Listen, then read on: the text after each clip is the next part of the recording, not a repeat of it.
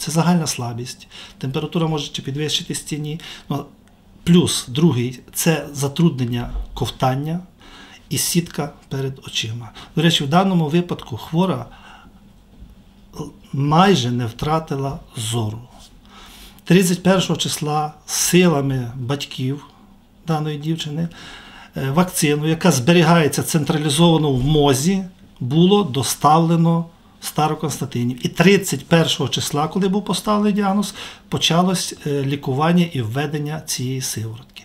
Після вже двократного введення стан хворої значно покращився. Загрози її життю і здоров'ю зараз немає.